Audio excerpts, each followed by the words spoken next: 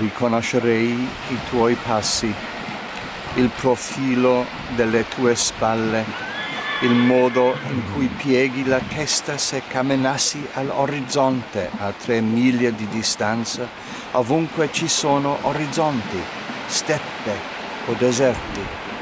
Riconoscerei i tuoi passi, riconoscerei la tua voce all'interno di un coro di voci che canta il più grandioso inno corale, un alleluia inimmaginabile nella cattedrale più immensa all'orizzonte di una steppa o di un deserto, riconoscerei la tua voce, riconoscerei i tuoi capelli in una bottega di stranezze di rame, in una cesta di castagne, nel laboratorio di un orofo i tuoi capelli rosso oro in una cattedrale di rame e oro all'orizzonte di una steppa o di un deserto.